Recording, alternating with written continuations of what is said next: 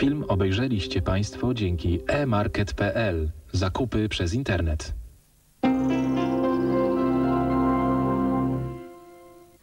Ta Toyota może być twoja, ale czy masz odpowiedniego pilota, który ją otworzy? To zamknięte jest. Możesz go znaleźć 20 kwietnia w magazynie Rzeczpospolitej. Przyjdź go sprawdzić. Dni Toyoty Yaris. Nadmiar glukozy odkłada się w postaci celulitu. Innowacja Vichy. Destok. Żel krem wyszczuplający o przedłużonym działaniu. Zapobiega odkładaniu się tłuszczu i likwiduje jego nadmiar. Widocznie wygładza nierówności w ciągu jednego miesiąca. Destok. Żel krem wyszczuplający. Vichy. Źródło zdrowej skóry.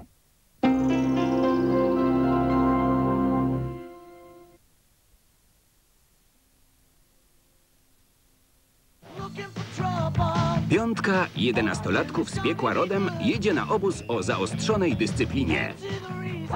Ale co tam dyscyplina? Na pokładzie prywatnego odrzutowca z terrorystą u boku przeżyją największą przygodę swojego życia. Złe podejście. Poniedziałek wielkanocny o 16.25.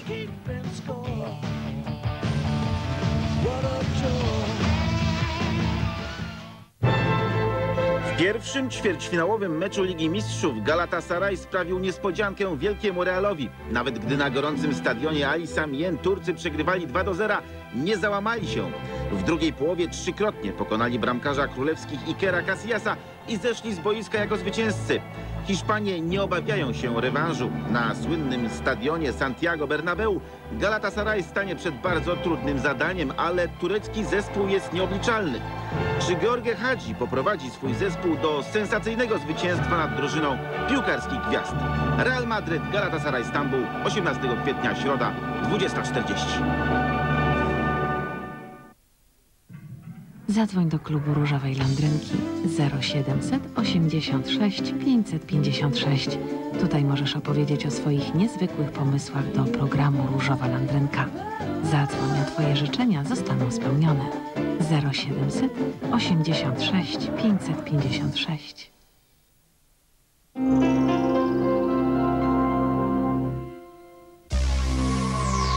Kiedy twój oddech staje się niebezpiecznie gorący, sięgnij po gumę do rzucia Winterfresh. A ponieważ to Winterfresh jest Dużo, dużo chłodniej Oddechu mroźna świeżość Smaku mroźna moc Która trwa i trwa Winterfresh i nowy Winterfresh Polar Ice o unikalnym smaku. Mroźna świeżość oddechu na długi czas. Fate is written in your soul, but it's not engraved. Man, you should try them anyway. Fate is never up to you, it just happens so. Interferes while you come and go. Don't you try to stop it. Chcesz się oprzeć. Seatowi za tak atrakcyjną cenę? Seat Toledo. Zobaczysz i zapragniesz. Ostatnia jest dla mnie. Już zjadłeś dwie. Licytujmy. Aukcja, tak? Stawiam sok. Stawiam jabłko. Jabłko po lewej. Więc niech będą dwa jabłka i sernik. Ej! Okej. Po raz pierwszy, po raz drugi. Hej, nie ruszę tego przez weekend. Jest twoja. Ostatnia kanapka z ramą dla spryciarza. To mleko w ramie sprawia, że wszystko jest pyszne. Rama, mleko, smak, kto da więcej? Samochód na wieczór? Nie.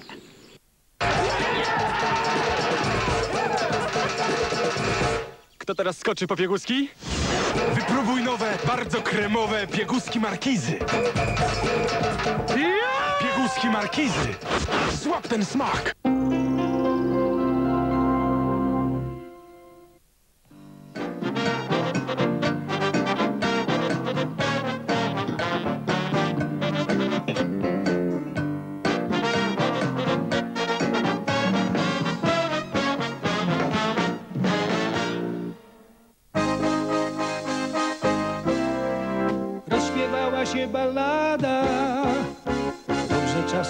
Pogadać.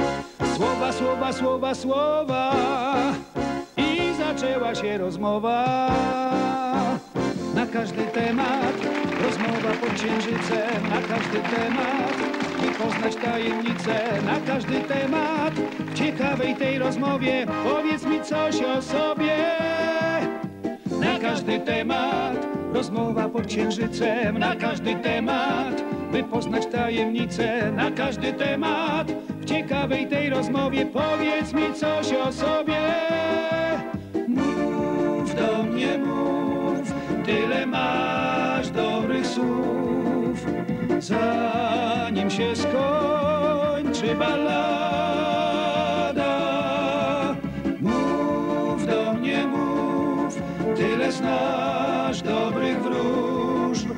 Zwierciadle dusz, pogadaj. Rozśpiewała się ballada, dobrze czasem jest pogadać. Nic już nie masz do ukrycia, przejrzyj się w lustrze życia. Na każdy temat rozmowy księżycowe, gdy samo życie zamienia się w rozmowę. Na każdy temat usiądź tu przy mnie blisko, chcę wiedzieć wszystko. Na każdy temat, w ciekawej tej rozmowie, na każdy temat, powiedz mi coś o sobie, na każdy temat. Rozmowa to przyjemność, pogadaj ze mną, pogadaj,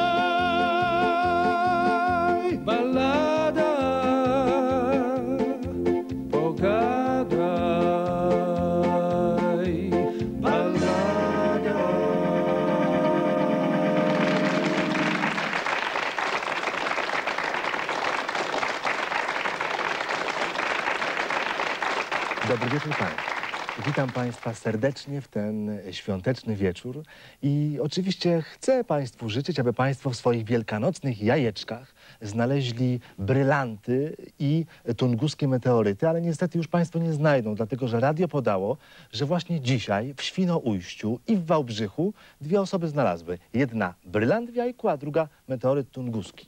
No więc tym wszystkim rozczarowanym swoimi jajeczkami em, życzę przyjemnych chwil z programem na każdy temat, bo dzisiaj w programie na każdy temat same specjalne świąteczne atrakcje. Może zacznę od końca. W drugiej części programu wystąpi Adam Rozdrażewski. Adam Rozdrażewski, bohater telenoweli Adam i Ewa i właśnie w dzisiejszym naszym programie ujawni się e, z kim ma romans jego nowa żona Monika. Ja może zdradzę, że ten e, facet nazywa się MS. No może powiem więcej. Mariusz Esz.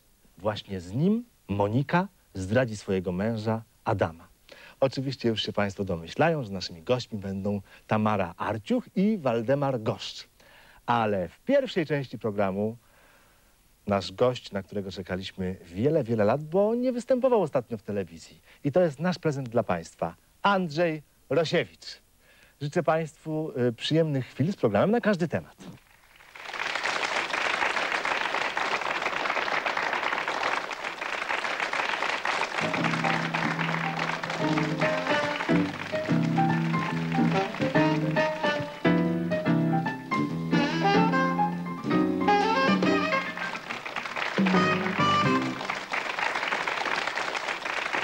Drodzy Państwo, pan Andrzej Rosiewicz. Drodzy Państwo, pan Mariusz Szczygiel. Bardzo mi miło. Panie Mariuszu, ja proponuję, może powiedzmy sobie how do you do i przejdźmy po amerykańsku na ty. A bardzo proszę, bardzo chętnie. Mów mi Michael Jordan. Zapraszam na kanapę. Andrzeju, no muszę ci powiedzieć, że wyglądasz kwitnąco, naprawdę wiosennie, świątecznie kwitnąco. No, wyglądasz jakby ci ubyło wiele, wiele, wiele lat. Może dlatego, że dla ciebie się oszczygłem, wiesz? Nie szczygłem się, nie szczygłem, aż wreszcie się oszczygłem. Ale właśnie, pamiętam, miałeś kiedyś takie pełne pukle włosów, prawda? No tak, złote pukle, ale już wiesz, nie chciało mi się już pleść tych warkoczy, a poza tym jechałem kiedyś na rowerze górskim, jak mi się warkocz wplótł, proszę ciebie, w szprychy, to myślałem, a, dam spokój, skończę. Czyli rozumiem, że podlegasz y, świątecznemu oszczygleniu, Ale rzeczywiście coś w tym jest, bo były takie kiedyś badania robione na polskiej wsi i bardzo wielu ludzi kąpie, kąpało się tam, bo to dotyczyło lat 50., tylko raz przed Wielkanocą. I to jest taki zwyczaj, że rzeczywiście ludzie kąpią się przed Wielkanocą, to jest wielkanocna kąpiel. Rozumiem, że ciebie dotyczy wielkanocne oszczyglenie. Tak jest, ale z tą kąpielą to jest tak, że nie tylko na wsi, wiesz. Nie? Podobno przed świętami Zygmunt Kałużyński się wykąpał też. Zresztą on e, sam twierdzi, że nie, nie, nie często się kąpie, ponieważ zachowuje równowagę bakterii, wiesz, na swoim ciele. No i jakaś prawda w tym jest, ponieważ on mimo dojrzałego męskiego wieku już swoje lata ma, a w świetnej formie ciągle Bardzo jest. dobrze wygląda, Mhm. rzeczywiście. Ale a propos kąpieli, Zygmunt Kałużyński chodził do klasy razem ze słynnym aktorem, nieżyjącym już niestety, panem Kazimierzem Rudzkim. Tak. Ponieważ było wiadomo, że Zygmunt Kałużyński nieczęsto korzysta z kąpieli, Kazimierz Rudzki mówi, Zygmusiu, ludzie mówią, że się nie myjesz. On mówi, ależ Kaziu, myję się, czasem się nawet kąpię. I Kazimierz mówi, to może częściej zmieniaj wodę. Andrzeju, ale widzę, że dzisiaj y, ty wyglądasz kwitnąco, pachnąco. Właściwie y, to oryginalne połączenie kolorów y, koszuli, marynarki i apaszki robi z ciebie człowieka zachodu. No wyglądasz jakbyś dopiero co wysiadł z samolotu. No tak, myślisz o marynarce pewnie. Marynarkę kupiłem w Londynie. To jest marynarka z Londynu? Tak, wybierałem się na rozdanie Oscarów do Hollywood, no ale Ale niestety... jak to wybierałeś się? Nie dojechałeś? No nie doleciałem, nie. Dlaczego? Pryszczyca. Ale szczerze mówiąc, e, naprawdę wyglądasz jak z Hollywood. No tak się złożyło, że byłem w tym roku na Sylwestra w Hollywood. Patrz, jeszcze nie zdążyłem się przebrać. No. Czy to prawda? Bo słyszałem taką plotkę na twój temat, że podobno będąc w Ameryce, nie wiem w którym mieście, ale będąc na jakimś amerykańskim lotnisku, e, poznałeś podobno osobiście Polę Negri. Tę wielką przedwojenną aktorkę kina niemego. No to była gwiazda taka, w której kochali się tacy najwięksi chyba e, kina. Amanci, tak. Jak, amanci jak Charlie Chaplin, jak Rudolf Valentino. No, Rudolf ciągle- Valentino to podobno najprzystojniejszy mężczyzna kina niemego. No tak, bo mnie jeszcze nie było na świecie wtedy. Natomiast pani Pola Negri, jak mówię, zachowywa tą klasę, tą urodę piękną. W związku z tym nie wytrzymałem, podszedłem do niej, przedstawiłem się. Rozmawialiśmy jakiś czas. Ja jeszcze wtedy miałem tą muchę i ten berecik taki z antenką. Ale czy zgodziła się mówić z tobą po polsku? Tak, świetnie mówiła po polsku. No i potem ja chciałem odchodzić. a Ona tak spojrzała na mnie i mówi, dziecko, ja cię adoptuję, ty mi tak Rudolfa przypominasz. Ale to by oznaczało, Andrzeju, że ty jesteś w ogóle urodzony pod szczęśliwą gwiazdą. No skoro Pola Negri myli cię z Rudolfem Valentino, to coś to oznacza. I urodziłeś się też pod bardzo specyficzną datą, bym powiedział, prawda? Drodzy Państwo, Andrzej Rosiewicz jest y, dzieckiem urodzonym 1 czerwca.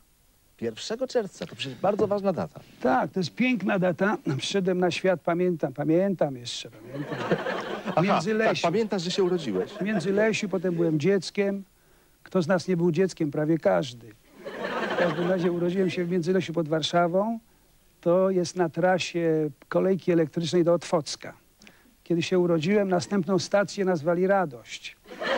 Na twoją cześć. A, a kiedy świat się dowiedział, że urodziłem się 1 czerwca, ogłosili Międzynarodowy Dzień Dziecka.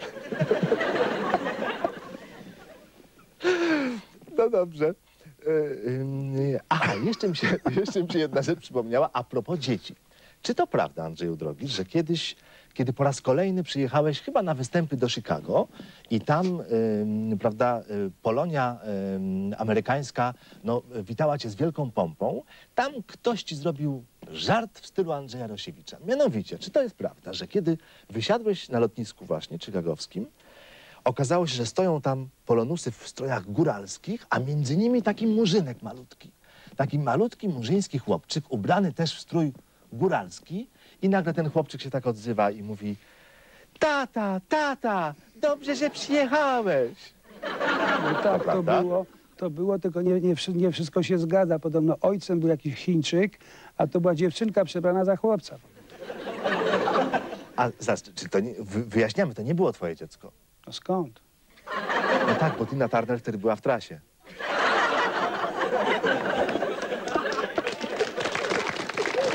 No dobrze, to cieszę się, że to zostało wyjaśnione. To był tylko żart, który pewnie dowcipna Polonia, Polonia ci zrobiła, ale e, z tego, co ja wiem, to masz z Ameryki pewne dość wstrząsające wspomnienia e, związane z kimś, kto był zamrożony, czy odmrożony? Jak to było, bo nie wiem dokładnie. To znaczy, wiesz, jakiś czas po występie na Sylwestra w eleganckim hotelu Hyatt Regency Hotel, to był taki bardzo elegancki bal dla Polonii.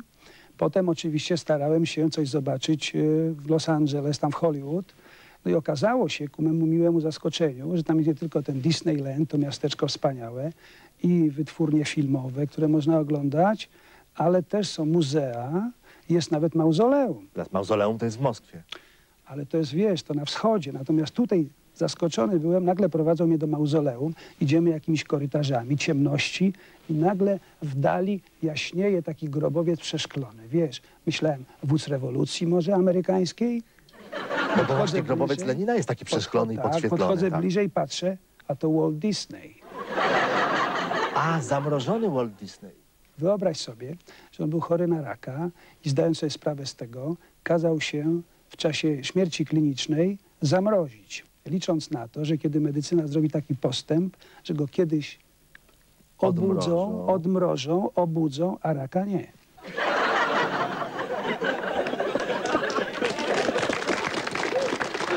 To tak, Andrzeju, ale skoro mówimy o zamrażaniu, to mnie się zamrażanie kojarzy z, oczywiście z rozmrażaniem, a skoro przyszła wiosna, no to zachodzi taka obawa, że Walt Disney przez przypadek może zostać rozmrożony, bo wiosną, ja ci powiem, na przykład moja mama lodówkę odmroziła, ja widzę ostatnio coraz bardziej rozmrożone kobiety, one się coraz, y, wiesz, bardziej ubierają tak lekko, y, przewiewnie. No to, drodzy Państwo, skoro z wiosną wszystko się rozmraża i kwitnie, ja proponuję, żeby Andrzej Rosiewicz wykonał przepiękną piosenkę pod tytułem Wiosna. Drodzy Państwo, specjalnie dla Państwa Andrzej Rosiewicz.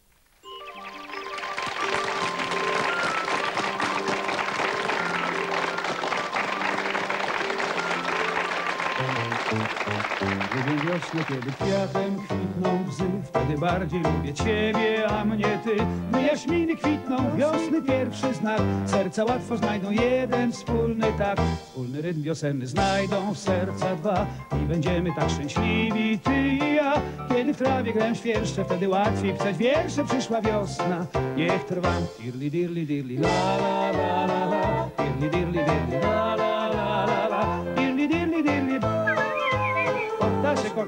A nie, to ja tak robię. Dirli, dirli, dirli, la, la, la, la, la. Dirli, dirli, dirli, la, la, la, la, la. Kiedy w trawie gram świerszcze, wtedy łatwiej pisać wiersze. Przyszła wiosna, niech trwa w duszy jakoś tak błękitnie. Dookoła wszystko kwitnie.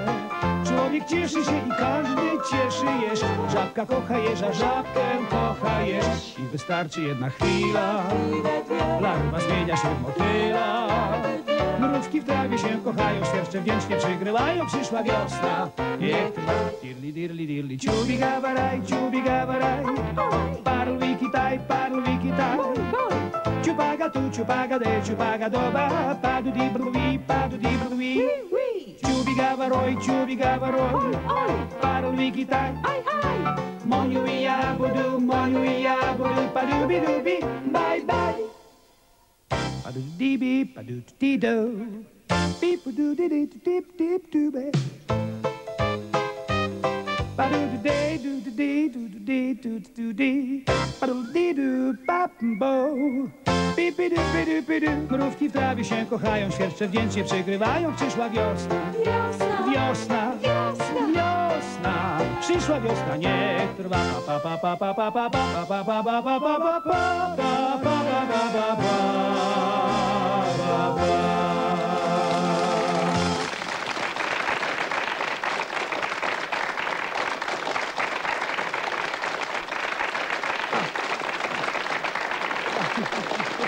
Gratuluję. Proszę bardzo. Andrzeju, kiedy tak zastanawiałem się nad fenomenem twojej popularności, to mm, kiedy zbadałem to wszelkimi możliwymi narzędziami, dziennikarskimi, socjologicznymi, psychologicznymi, to doszedłem do wniosku, że tak naprawdę ty jesteś jedynym artystą w Polsce, który podoba się wszystkim. Naprawdę, ty nie masz w ogóle przeciwników i nie masz y, y, takich antywielbicieli. Nie ma ludzi, którzy by mówili, że nie lubią Rosiewicza. I pomyślałem sobie też, że jesteś jednym z niewielu ludzi w Polsce, który jest na ty ze wszystkimi.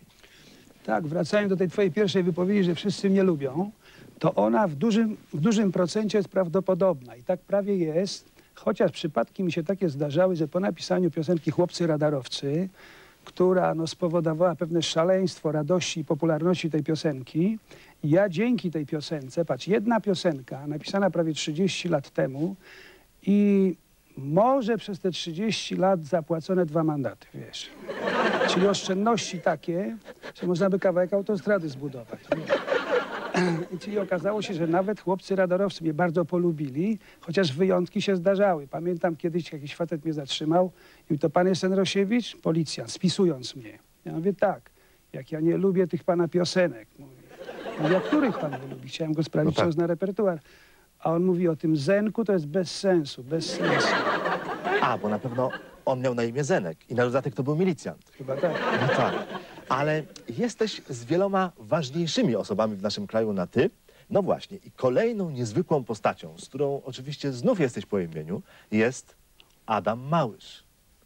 No i tu jestem mile zaskoczony, dlatego że z tego co wiem, nagrałeś piosenkę, właściwie hymn na cześć Adama Małysza. To się nawet nazywa dytyra. Dytyramp na cześć Adama Małysza. No właśnie, Adam Małysz, właściwie można powiedzieć, że został nam zesłany z nieba. W tych ciężkich czasach, Andrzeju, prawda, kiedy ym, tak naprawdę tyle ludzi ma jakieś lęki, ten Małysz trochę nas ratuje psychicznie i duchowo, prawda? Zdecydowanie tak. Ktoś zauważył zresztą, że Małysz, czytany w spak, to jest właśnie zsyłam. Zsyłam, Małysz, czyli na spak Tak. ten zsyłam. No tak jakby był rzeczywiście zesłany nam Tak, y, y, ku pokrzepieniu serc. Oczywiście, ja zresztą w piosence tam piszę, pozwalam sobie napisać, że e, mały Małysz, a przecież radość taka wielka, leci Małysz, już niebo niesie go na szelkach, wiesz. Rzucili się do telewizorów oglądać Małysza.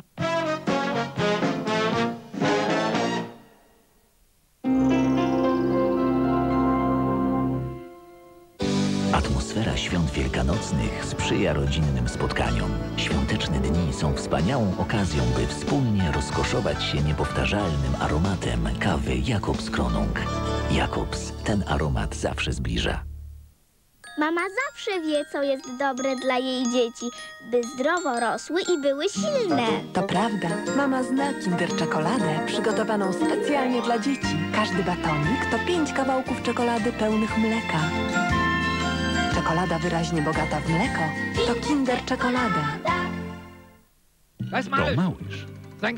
Zaraz poznamy jego sekret. Ziewa. Ziewać. Bułka z bananem. Raz, dwa. Czekaj, czekaj. Ja, noch Tak? Coś jeszcze. Jahre, Danie, pięć minut. Jahre, Danie, pięć minut. Co? Mówię wam, nie ma nic lepszego niż barszcz czerwony.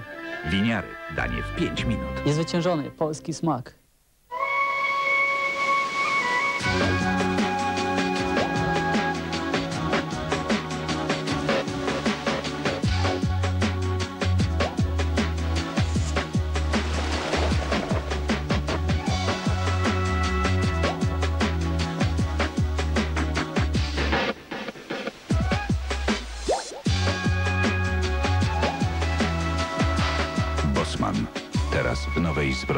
Butelce. Teraz guma Orbit z wapniem dla dzieci o nowym owocowym smaku. Pyszne zakończenie każdego posiłku. Mmm, ale owocowe. A ponieważ jest to guma Orbit, pomaga dbać o zdrowe zęby dzieci. Żucie Orbit dla dzieci neutralizuje niebezpieczne kwasy, wzmacnia szkliwo zębów, chroniąc je przed próchnicą. Orbit z wapniem dla dzieci. Świetnie smakuje i chroni zęby przed próchnicą. Teraz w dwóch pysznych smakach.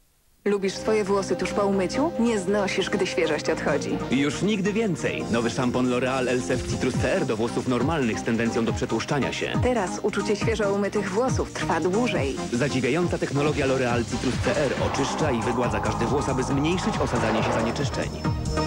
Są czystsze, lżejsze, na dłużej, jakby dopiero co były umyte. Zatrzymaj to uczucie świeżo umytych włosów. Na dłużej.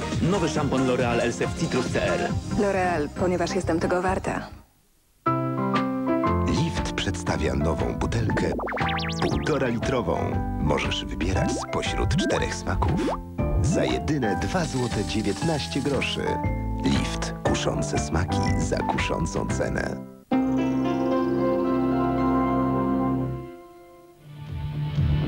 Trwa proces gangstera de Salvo, oparty na zeznaniach świadka koronnego. Egzekutor wynajęty przez mafię myli adres. Zamiast syna świadka porywa spokojnego obywatela. Ten zaś musi sobie radzić sam. Świadek koronny. W poniedziałek wielkanocny o 22.20.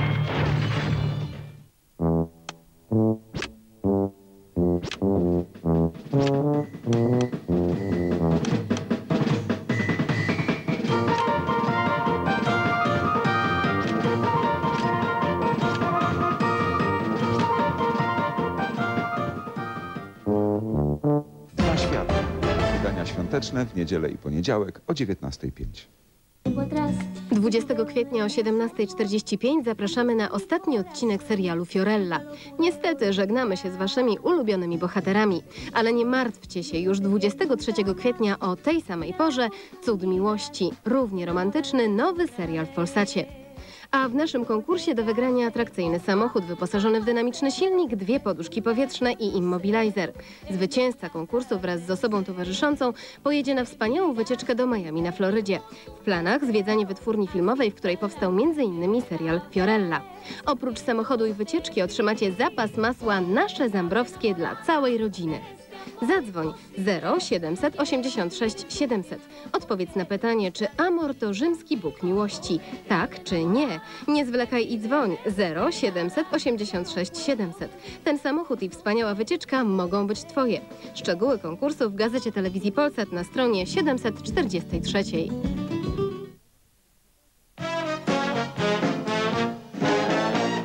Drodzy Państwo, Andrzej Rosiewicz nagrał e, płytę pod tytułem Orzeł z Wisły. To oczywiście o Adamie Małyszu. E, czy ta płyta już jest w sklepach? Tak, podobno w pierwsze dwa dni rozeszło się 50 tysięcy płyt. No, wspaniale, gratuluję. Ponieważ wiedziałem, to jest wydarzenie duże, wielkie właściwie, tyle wzruszenia, tyle polskiego zawodnika, No tak. wspaniałej dumy takiej narodowej, to pomyślałem, muszę wziąć jakąś melodię, która będzie godna tego i słowa, które napisałem o Małyszu. A, czyli słowa są twoje, a melodia pożyczona. Tak, a melodię pożyczyłem od ojca Opery Narodowej Polskiej Stanisława Moniuszki, Mazur ze Strasznego Dworu. Drodzy Państwo, Andrzej Rosiewicz śpiewa utwór Adam Małysz, Orzeł Biały.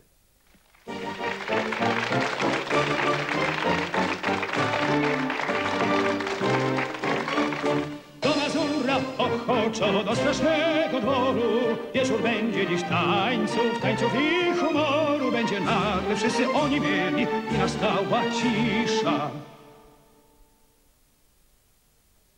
Rzucili się do telewizorów oglądać Małysza. Po rozbiegu i z progu ruszył jak lawina. Rzucił ciało, przepaść biało, duszę oddał, oddał, Bogu zima jeszcze w górach stała, wiosna już w dolinach. I tak się ballada biała, gdy tyram zaczyna. Kiedy do Małysza zastukał psycholog, Małysz go przywitał i chlebem i solą. A on wtedy go umocnił, duchowo pokrzepił i innego nam Małysza wewnętrznie ulepił.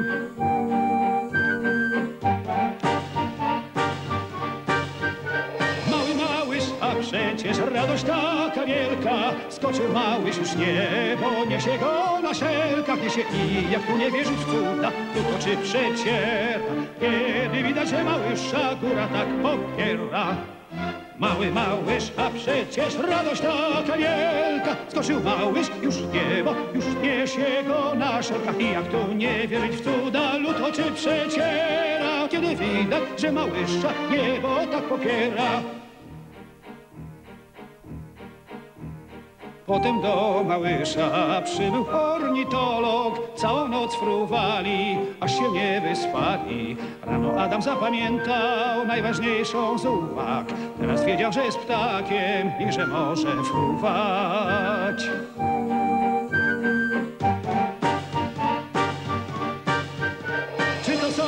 Skrzydlaty, czy to orzeł biały, czy to książę obłoków, czy to król białego stoku sto lat, sto lat niech nam żyje, panuje najjaśniej, niech nam gwiazda pomyślności nigdy nie zagaśnie.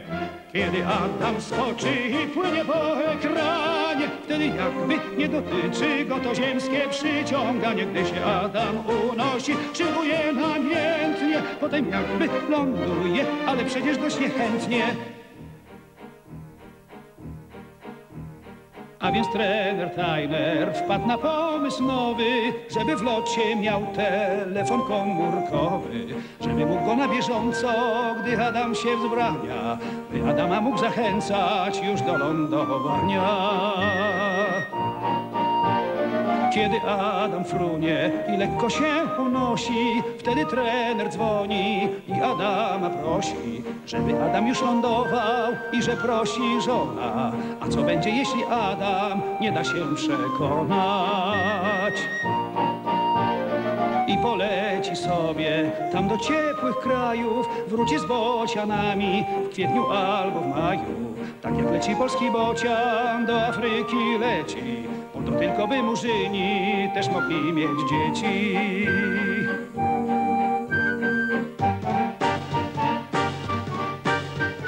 Gdy powróci tu wiosną na ojczyzny łono, przywita się z córką, przywita się z żoną, się przywita i niech narodowie wżdy postronni znają, iż Polacy dumni tacy, iż małysza mają. Gdy powróci tu wiosną na ojczyzny łono, przywita się z matką, przywita się z żoną, przywita i niech narodowie to wżdy postronni znają, iż Polacy dumni tacy, iż małysza Iż Polacy dumni tacy, iż małysza mają, iż Polacy dumni tacy, iż małysza mają. Iż małysza, iż Polacy dumni tacy, iż małysza, iż mają. Hejże ha, hejże ha, hejże ha, hejże ha. Hejże ha, hejże ha, hejże ha, hejże ha, hejże ha.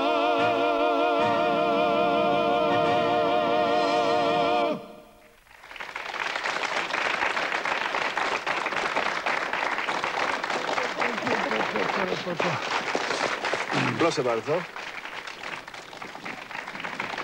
Andrzeju, ale muszę powiedzieć taką rzecz, że mimo, że śpiewasz y, piękne, pogodne, wesołe piosenki, to twoje życie zawodowe nie zawsze było usłane różami, nie zawsze było tak piękne i wesołe i pogodne. Ponieważ w PRL-u musiałeś użerać się z urzędem cenzury. Tak naprawdę nie o wszystkim mogłeś śpiewać, o czym chciałeś. Opowiedz trochę o tych czasach. No, były pewne trudności na pewno, polegające na cenzurze, która dokładnie chciała wiedzieć, co będziesz śpiewał, co będziesz mówił, słowo w słowo, w zdanie w zdanie. Wszystko musiało być napisane i ocenzurowane. Czy z twoich piosenek nie wykreślano żadnych słów? O tak, no wiesz, w ogóle e, na temat Wielkiego Brata, czyli Związku Radzieckiego, nie można było zdecydowanie zupełnie żartować. A, a dobrze.